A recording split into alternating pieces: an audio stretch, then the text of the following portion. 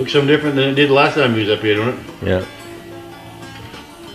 Well, it's been a good project. It's been good to see it come together and, and really to watch your work because you do, you know, you do really good work as far as you know chopping that top and reshaping these window things and all that. It's it's, it's fun and interesting to see somebody do that uh, in real life. I mean, you look in Hot Rod magazine. Sometimes you see some pictures of it. But it's kind of neat to see somebody do it and watch them do it and everything. Playing their own shop. Yeah. Yeah. Yeah, it was fun to be able to do it and uh, and not bury it too, like you know people do. I mean, normally if you were gonna chop a top like that, you you'd hide all the all the lines and all the cuts. But on these things, you want them to show because you know if you take some guy off the street that don't know what a 38 Ford is supposed to look like, he could walk right by this thing. If there wasn't any lines anywhere, he'd think it was made that way. Mm-hmm. You know, they would know any better.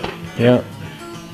Uh, if you get crazy and radical and slim them down with a three-inch windshield, and that's pretty obvious. But I mean, you know. Yeah. If you cut them a smaller amount, I mean, I cut that like four and a half. I cut it four and four and a half. So really, you know, yeah. Yeah. Once I laid the windshield post back, instead of adding to the roof. Because in my opinion, when you add the center of the roof, it ruins the cab. It ruins the look of the cab. You gonna do split window? It was a split window, yeah. I'm gonna have a V-butt windshield made. Okay. I'm gonna have it separated here. I gotta actually weld these two slots in, these two slots up here. But it's not gonna be in the window frame, it's gonna be glass, it's gonna be urethane right for the lip. V-butted. So it'll be in two pieces, and they use a clear urethane in the center, and you buff it out. And I'll have one, one piece windshield, basically, a Yeah. piece with a V-butt.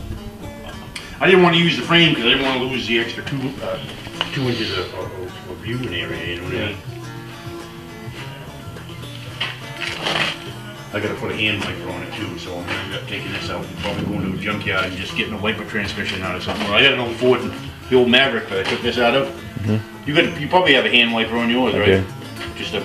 Well, we should come back in a week or so, we'll go for a ride. I think that'd be fun.